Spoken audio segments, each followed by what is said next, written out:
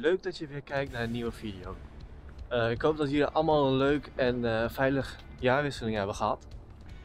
En uh, dit keer wil ik het iets anders doen als normaal dat ik de filmpjes maak.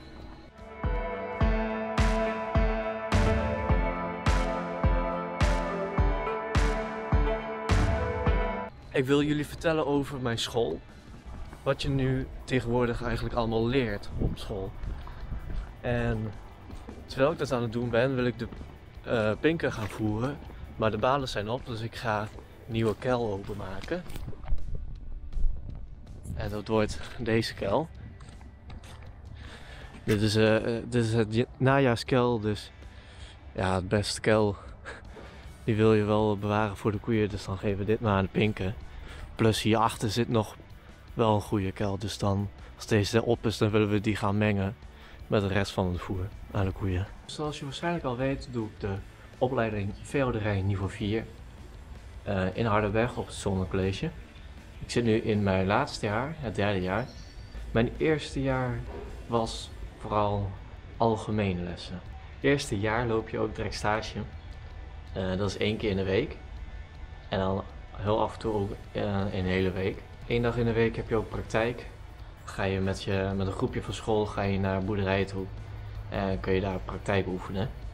Uh, in het eerste jaar um, ga je leren hoe de melkput werkt en hoe je moet melken. Oftewel, je krijgt je melkdiploma.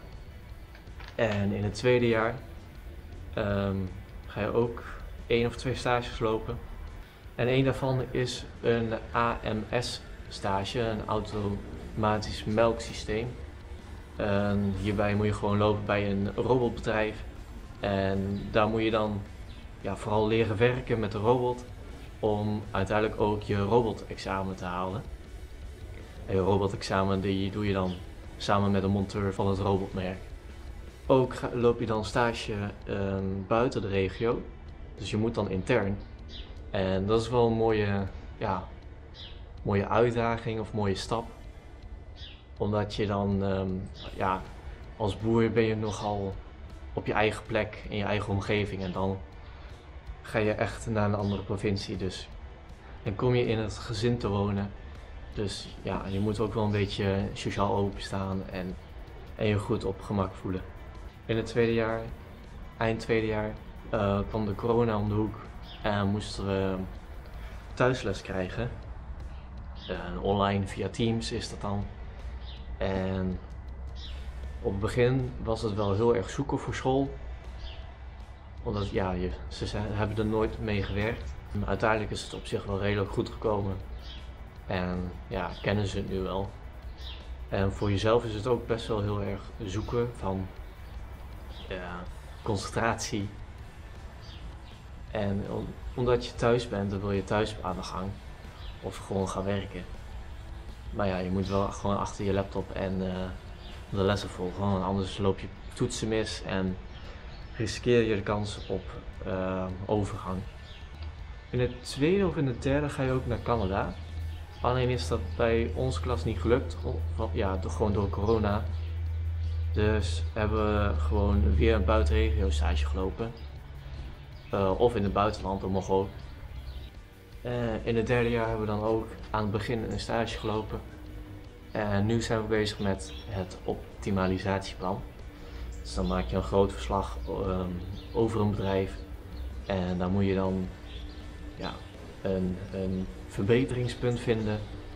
En deze ga je helemaal uitwerken, zodat het ook in praktijk ook echt uh, kan gebeuren. Dus als voorbeeld kan je een jongveestal laten bouwen ja, dan ga je helemaal op zoek welke vergunningen heb je nodig, hoeveel kost het. En moet je ook het financiële gedeelte goed hebben.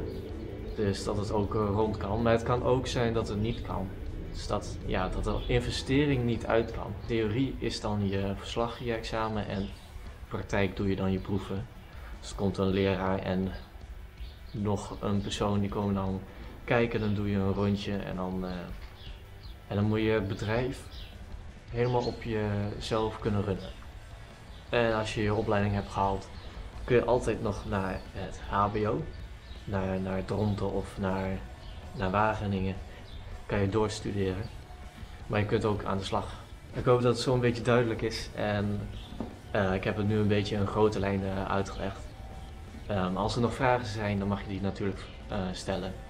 En dan zie ik je bij de volgende video.